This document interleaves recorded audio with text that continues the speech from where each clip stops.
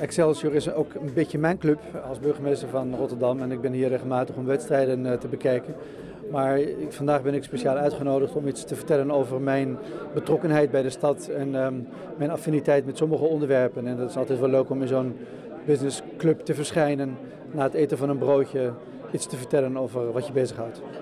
Um, Excelsior is niet alleen een prettige club, maar het is ook een aangename club. Dus ehm, ik heb gezegd dat ik uh, geen stadion ken waar uh, de auto's zo dicht op de ingang geparkeerd zijn als, als hier. Het is gemoedelijk.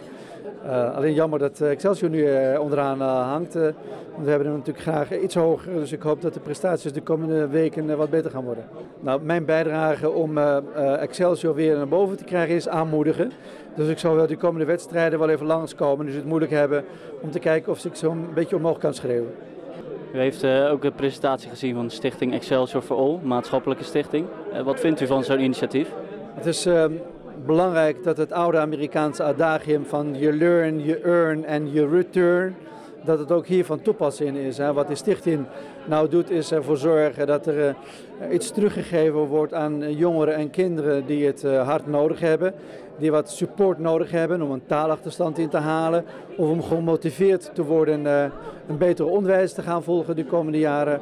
daar kun je alleen maar natuurlijk voor applaudisseren. Dat, ja, dat wekt bij mij allerlei warme gevoelens. Het is heel belangrijk dat dat soort dingen gebeurt. En gelukkig zie ik dat soort initiatieven niet alleen hier, maar ook op andere plekken in de stad. Maar het is goed dat het hier gebeurt.